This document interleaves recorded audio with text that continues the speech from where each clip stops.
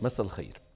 ردود فعل حول الخشية على الانتخابات النيابية أثارها تصريح قبل أن يصوب رئيس الجمهورية ويعلن تمسكه بإجراء الانتخابات في موعدها المحدد في الخامس عشر من أيار المقبل.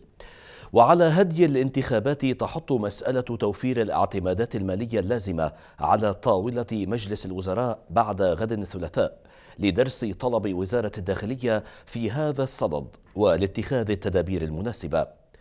وبالنسبة للتيار الكهربائي لمراكز الاقتراع فإن الوزارة تجري اتصالات لتأمينه بحسب ما أعلن الوزير بسام مولوي.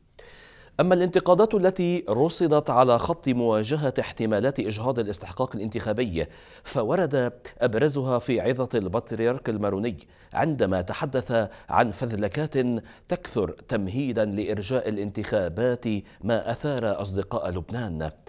وإذا كان تمويل الانتخابات مطروحا في جلسة الثلاثاء فإن منازلة متوقعة فيها على جمر ملف الكهرباء الذي فصلت الحكومة سلفته عن الموازنة بطريقة مواربة لم يستبرئها كثيرون. أما طريقة مقاربة مجلس الوزراء للموازنة ومعها التعيينات فكانت أكثر مواربة وقد قيل فيها ما يجب أن يقال.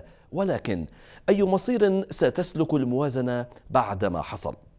الإجابة في عهدة الأيام القليلة المقبلة. أما الساعات القليلة المقبلة فتحمل الذكرى السنوية السابعة عشرة لاغتيال الرئيس رفيق الحريري.